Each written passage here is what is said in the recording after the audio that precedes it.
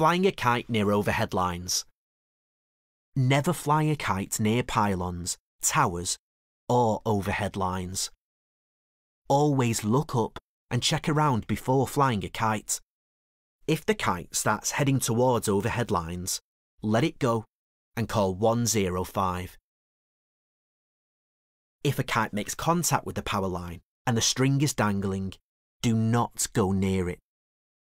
Touching it means the high voltage electricity could travel down towards you and cause serious injury or death.